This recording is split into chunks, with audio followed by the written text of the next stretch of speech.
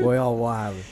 Um, yeah, we we not the smartest uh, in the, uh, I like that. We got to In we the got to figure out that scale.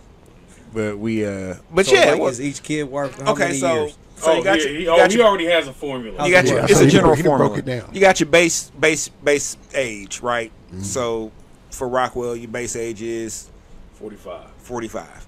All right. So Rockwell has two kids, both daughters. Ooh, So having two kids ages him about about three years. So that's 45 to 48. Two daughters adds another two years. per What? When did this come Say- about? yeah, say Per- per child. That's that's uh, that's per child. not two not two years per child, but uh, another two years total. So it's five. Okay, so so that adds per. five years. So your 45 is now 50. Okay. Now Oh, okay. one of the daughters is 22. You see how he looked when he when I said that? Mm. So, 22, the stress. That that that's 4 years. Boom. My bad. You know what? I'll give you 2 years. I'll say 2 years. So that gives you 2 years right there. So that's 52 now. The other child is 10 years younger.